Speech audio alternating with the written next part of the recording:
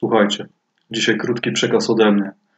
Na terenie Polski cały czas rozwijają się niemieckie firmy, m.in. Bayer, Volkswagen.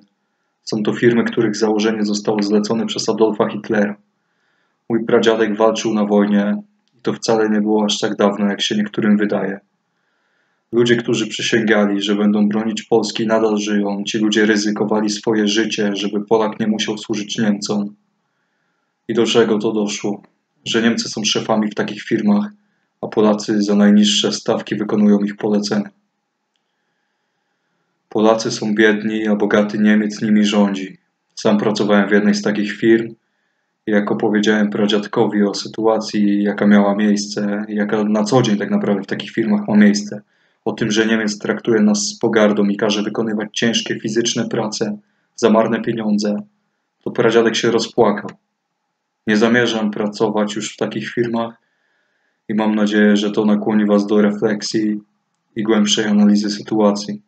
Kochajmy Polskę i zastanówmy się, czy chcemy być sługusami. Pamiętajmy o tych, którzy walczyli za nasz kraj i nie marnujmy ich poświęcenia. Tyle ode mnie. Trzymajcie się.